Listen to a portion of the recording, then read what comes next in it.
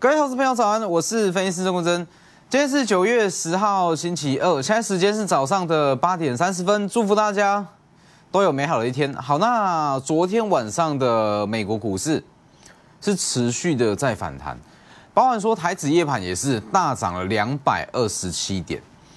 那还有说今天早上凌晨最新的 iPhone 发表会啊，说哎，iPhone 发表会有没有什么大力多？那会不会带动今天的？台北股市，等一下我们再来讲。好，其实说昨天台指的，就是说我们回到先回到昨天的现货。哦，昨天的台股，昨天台股开盘整体的状况，哎，尾盘只有小跌了两百九十点，是不是超乎大家的预期？没有错吧？我相信昨天的台股，大家原本的期望，可能啊，这个台股可能要跌个千点了，可能要再来个千点的下跌，结果没有。才跌两百九十点呢，而且个股几乎很多中小型股还都非常强。那这其实就符合我们昨天在早上告诉大家的嘛。啊，昨天早上说这个东西叫做不耐不耐久盘的卖压，这就是一个不耐烦的卖压而已。美国经济根本就没有衰退。哦，这就是说市场只是卡在一个到底是降一码好还是降两码好这种不耐烦的卖压而已。只要等卖压消化结束。它自然就会再往上拉，好，所以今天预计台股是持续的往上去做反攻，只是说成交量呢，目前看起来是放不出来。那成交量放不大，就可能会有开高走低的风险在，我就要特别去做留意。来，我们先看一下今天的几个重点。来，我预计说在九月十九号之前，还是维持一个大区间震荡的格局。那大区间震荡格局，其实操作就很简单了嘛。既然我们知道是大区间震荡，我们操作上尽量就是买黑不买红，哦，买跌不买涨，就这么简单。因为其实说，就像我跟大家说的，市场担忧的叫做美国会经济衰退，没错嘛。但是我们看这些数据就没有衰退啊。美国非农就业数据虽然说低于市场预期，但是它是高于七月份。失业率它是符合市场预期，那它也是低于七月份。那甚至再回推到上礼拜的 ISM 服务业指数，它也是高于市场预期，而且也高于荣枯值五十。所以你说，到底哪一只眼睛看到美国经济在衰退？是不是？所以我就说这个东西就是说，美国现在经济顶多是趋缓，但是它绝对绝对称不上衰退啦。那我你说，哎，为什么市场反应会这么大？就像我讲的吧，因为现在市场心态就是这样，你。联准会如果说降一码，市场又担心，哎，你降一码会不会导致说降的码数不够，变成说美国现在没衰退，接下来变成衰退？降一码好像也不对，但是降了两码，市场也会担心说，哎，你这个美国经济可能说有什么风险哦，才会大幅度的降息到两码，降两码好像也不对，等于是说现在市场就卡在一个到底降一码好还是降两码好这种矛盾的心理，那产生这种矛盾心理，就像我昨天讲的嘛。那很多投资人就会刚才说啊，算了，我先卖掉好了，我先出场，我先观望，管你要降几码，我不买股票最大，我先卖一卖，这个卖压就是来自于这样，所以我觉得说，九月十九号以前，联总会正式公布说要降一码还是降两码之前，都是大区间震荡。哦，等到一个比较明确的方向出来，市场才会开始去定调，说，哎，到底是怎么样比较好，才会有一个明确的方向。所以我就说，在这之前，其实你就你就先把它预设成一个大区间震荡就好。那当呃当指数在一个比较区间的震荡，低位接跟题材股相对就会比较强。啊，因为说当指数在区间震荡，就代表说大股票、全指股，它一定会比较弱嘛。第一说没有成交量。那第二空间也拉不大哦，所以全指股一定会比较弱势，所以还是建议大家说，指数区间震荡，低位接跟题材股两大重点哦就会不错。那再来就是低位接很标准嘛，GB 两百有没有？昨天的旗红、双红、高丽，每一档都大涨。哎，为什么说昨天这种盘，你说好也不算好，尾盘也是跌了两百九十点，为什么旗红、双红、高丽？会这么强，高利还涨停板，因为它的位阶低嘛，啊，就这么简单。那再来还有说比较偏题材性的，在这种区间震荡的盘势，它就会比较强。那 CPU 它就是标准的题材股哦。所谓的题材就是说，目前可能说它营收还没进来，但是我确定它未来有这样子的营收会开始入账，这叫做题材股哦。所以光通讯就是 CPU，还有像是瓶盖股，今天可以稍微去做留意。好，那 所以这几个重点给大家去做参考。那今天大盘的关键价，我一样会把区间抓的比较小一点点哦。以昨天的收盘价来看，大概是二一三一零哦，两万一千三百一十点。是一个压力点，那支撑点是落在两万一千零八十点哦。这两个支撑压力你可以去把它记下来。如果说你有在做期货当冲的话，这非常好用哦哦，你可以自己去试试看。那详细怎么操作，等一下我们等期货开盘哦再来告诉大家。好，那我们先回到这个苹果的发表会。其实你去看苹果股价就会知道，苹果的股价。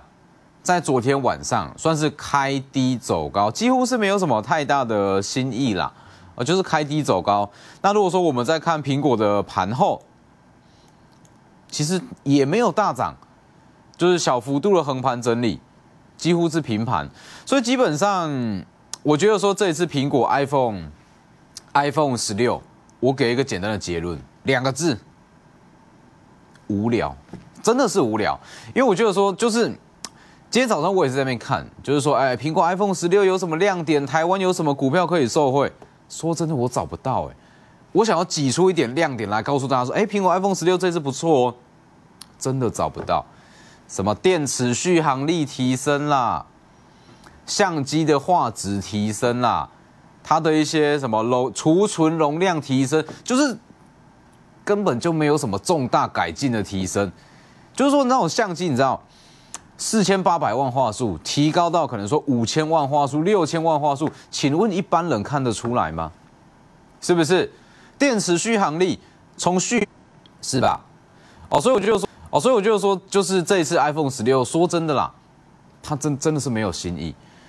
那再来，大家最重视的 AI 版的 Siri 嘛，AI 版的 Siri 就是它也没有很明确的演示说啊，它到底有什么真的是强到爆的功能。其实我这样看下来，其实说 AI 版的 Siri 就跟目前的可能说 Chat GPT，或是像是 Cop Copilot，就是一些 Google 啦，或者说一些微软的一些 AI，其实它功能是差不多。哦，所以我是这么觉得，就是说这一次的 iPhone iPhone 十六，他说销量会不会提升？我觉得有机会。那因为说这个销量提升，主要是建立在当时候的 iPhone 十五，它卖的也没有到非常的好。那又加上说，虽然说这一次没有新意，但是不管怎么讲，iPhone 十六还是苹果它第一款有搭载 AI 的手机哦，所以我觉得一些果粉还是会买单啦，销量会提升，但是不会到很显著的提升，因为毕竟说他说 AI Siri，但是 AI Siri 目前来看看起来是还没有到非常成熟，就是说它不是很很直观的一些。就就像说，这个感觉就像说啊，我买了 iPhone 十六，但是我不知道它具体到底可以干嘛。我知道 Siri 很聪明，我知道 AI 可能说啊，可以帮我拍一张照片，马上帮我辨识出这个地点是哪里。但是我要这个功能要干嘛？你知道吗？功能很强，但是我不知道我在生活上什么时间可以用到。哦，就大概是这样子的感觉。但是反观像是非屏阵营，华为、Google。哦，他们推的一些折叠机、三折机，我觉得这个对大家来讲，反而这个新鲜感才是够的。哦，所以我觉得总结来讲呢，就是说苹果这一次的发表会，真的几乎可以说是了无新意。哦，整体来讲，我觉得瓶盖股，因为那你说，哎，那回到台厂瓶盖股，台厂瓶盖股，我觉得会涨，但是涨不多。因为说，其实说包含像是比较纯一点的瓶盖股，台积电。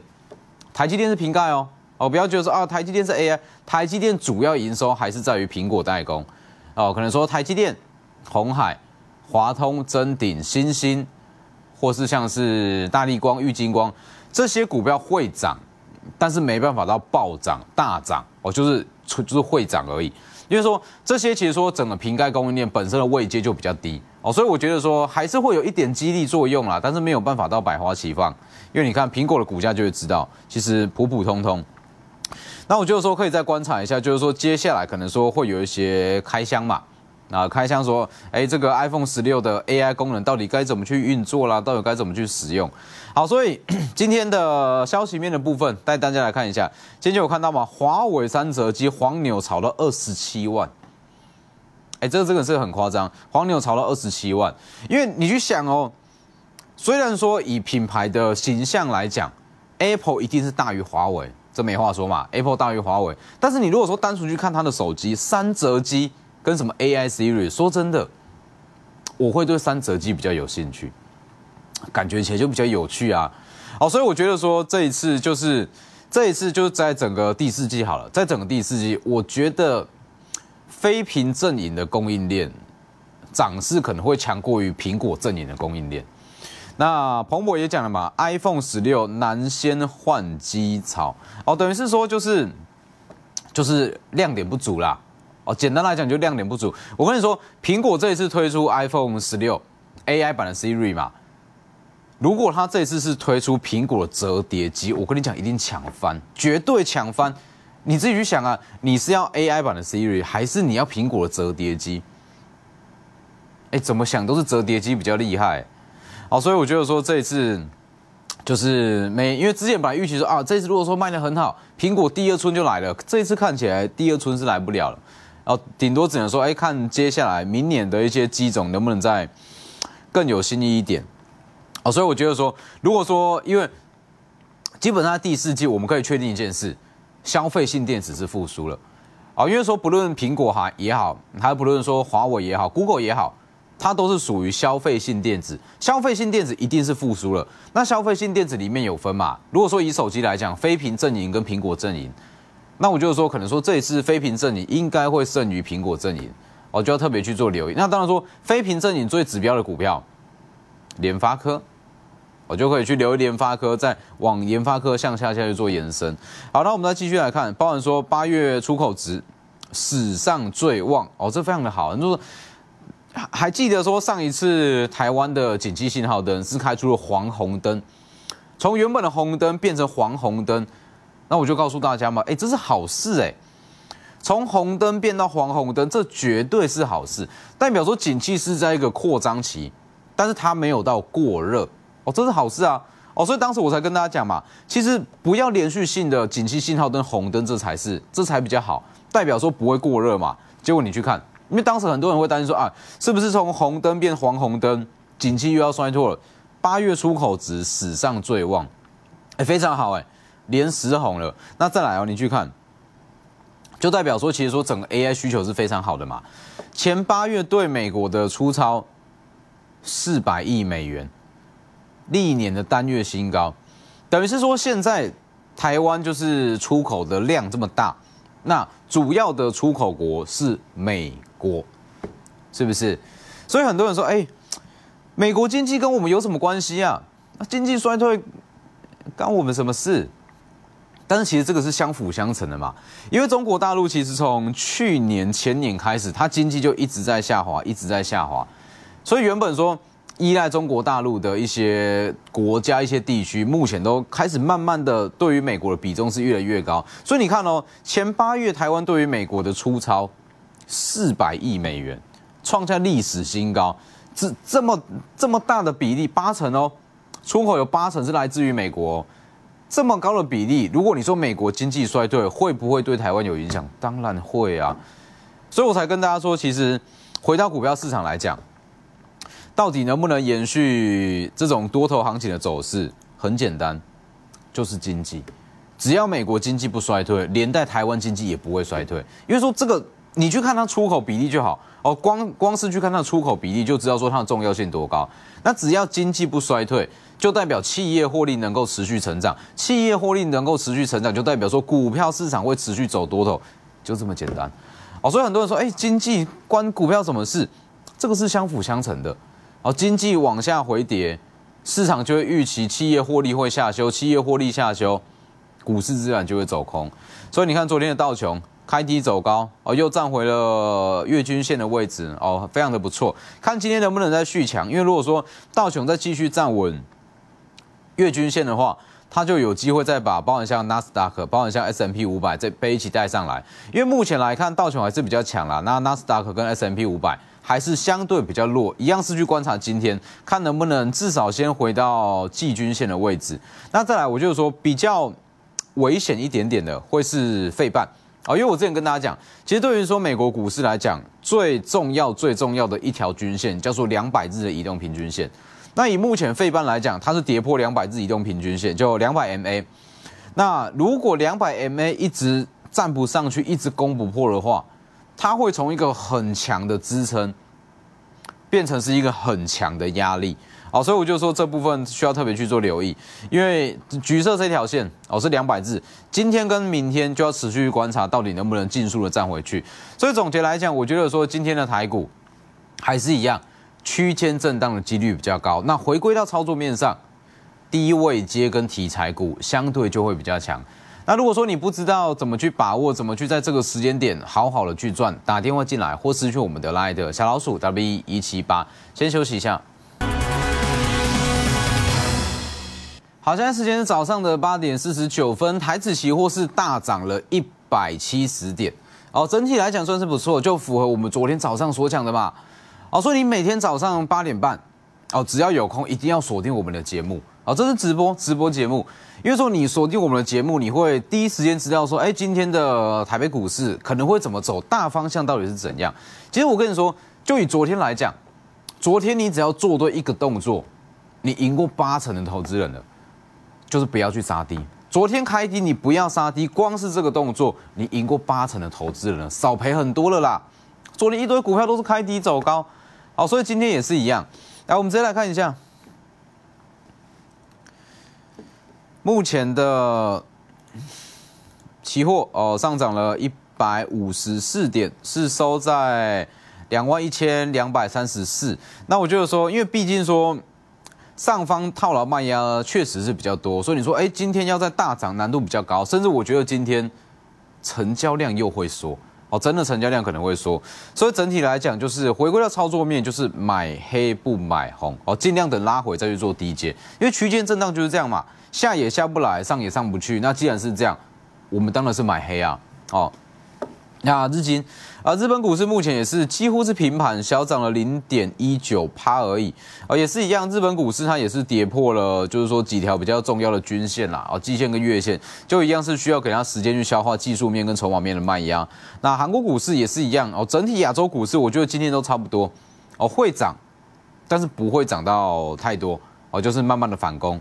韩国股市目前是上涨了零点二二趴哦，算是。也是小幅度的上涨，所以今天的台股的关键价一样，我会抓这两个二一三一零跟二一零八零哦，一个支撑，一个个一个是压力。如果说你有在做棋子的话，我会这样做，我会因为毕竟说今天预期是量会缩，那预期区间会不会到太大，所以如果说有来到二一三一零以上，我会去放空。哦，今天哦，今天我会去放空。那如果说，哎，真的震荡有来到二一零八零以下，我会去做多。哦，就直接把它当成是一个支撑跟压力就好，给大家去做参考。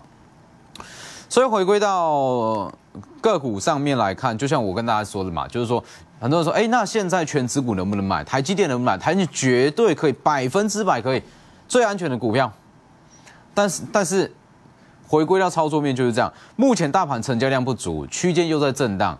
台积电能不能？绝对可以，但是你要等，就这么简单。没有成交量啊，没有成交量，大盘空间又不大，台积电要涨去哪里？涨不动。但是你说它现在是不是便宜的？绝对是便宜的。好，所以总结来讲，还是一样，台积电一千以下都很便宜，但是你要买，你就要等。哦，你没有要等，没有预计，至少放个一季，至少放到年底，就不要买台积电，我们就买中小型股就好。红海也是一样，我一直跟大家说嘛，红海两百以下很便宜，但是你要买你就要等，因为它叫全指股，全指股就是只要成没有成交量，只要台股不涨，大盘不涨，它就不会动。哦，所以你要有这个预期心理啊，就是说你买全指股，它就是会吃大盘，你不想因为它吃大盘，因为不想因为成交量而不会动，就不要买全指股。哦，所以红海是一样，两百元以下都不贵，只是说就是要等。联发科哦，反而我就是说这一次联发科它的涨势跟空间反而会比较好一点，因为就像我刚才讲的嘛，我觉得这一次非屏阵营的手机，它的一些新鲜度啦，一些销量，我觉得会远胜于 iPhone 十六。好，你你光是看那个就好，iPhone 十六最大亮点 AI Siri，非屏阵营最大亮点三折机。哎，连那个画面都不用看，你就知道三折机听起来就比较有趣一点。好，所以联发科，因为联发科是废品阵营的代表，那我就跟大家说，联发科在二零二四年预估是赚六十块，随便给个二十倍本益比，一千两百元跑不掉。好，所以一千两百元以下都可以下去做留意。嗯，广达也是，啊，广达也是，因为广达也算第四大权值股，所以你说，哎，广达能不能买？可以，两百八十元以下都不贵。但是要买广达就要等，就这么简单。好，那我们再去看哦，就像我跟大家说的，第一位接着可以去做留意，旗红三零一七的旗红，我就跟大家说嘛，就是说旗红它是水冷，水冷市占率很高，而且 GB 两百在水呃水冷在 GB 两百它叫做刚性需求，因为你 GB 两百的效能再怎么厉害，你没有水冷的设备，你效能一样没办法发挥到最大啊。就是说，晶片这个东西是这样。只要它发烫，它的功耗就会提升，它的效能就会降低。所以你说水冷是不是刚需？它当然是刚需啊。所以旗红五百元以下真的不贵啦。我说哎，之前涨到八百多，八百多这个我觉得太夸张了。但是从八百多跌回到五百多块，便不便宜？这很便宜啦。所以这个就都是低位接。旗红持续看好，双红这也持续看好，目前都是低位接。那我就跟大家说嘛。一直跟大家说，以水冷系列来讲，热交换器啦，一些水冷散热元件，八九九六的高利，这也是位阶非常低的股票。既然水冷是一个刚性需求，高利从五百三十七跌到两百六十六，已经砍半了，已经砍半了，这个位阶还不够低。上礼拜只告诉大家，GB 两百位阶够低了，高利的位阶又在更低，昨天涨停板。我昨天一根涨停板，我觉得这个是刚开始而已啦，就是说它的空间还很大，都会持续去做留意。哦，这就是整个 GB 两百系列的股票，包含说八二一零的秦城也可以去做留意。那再来还有就是说，比较偏向转机性质的惠特，我就说嘛，哎，不要看说，哎，惠特今年怎么营收都是亏损，他已经接到订单了，只是还没出货，还没出货，营收就还没贡献。那它的营收贡献会落在二零二五年。所以在二零二五年，以它目前的订单来看，至少可以贡献个六到七块钱的 EPS。六到七块钱的 EPS，一百五十多块钱的惠特太便宜了，哦，可以去做留意。Mini LED 哦，六七零六惠特。那再来还有包含像是波洛威哦，CPU 系列的，因为 CPU 系列它也是不太吃大盘哦，它也是题材大于它的获利哦，所以我觉得包含说波洛威。讯星等等的，甚至说三四五零的联军，都会持续去做留意。哦，CPU 系列的，还有就像我跟大家说 c o w a s 这部分涨完了，那可以去留意上游的特化、达新材料、永光，都可以持续去做留意。好，总体来讲，在这个时间，我们就是掌握好节奏，不知道怎么买，打电话进来。今天节目就到这边，下架。本公司与分析师所推荐分析之个别有价证券无不当之财务利益关系。本节目资料仅供参考，投资人应独立判断、审视、评估，并自负投资风险。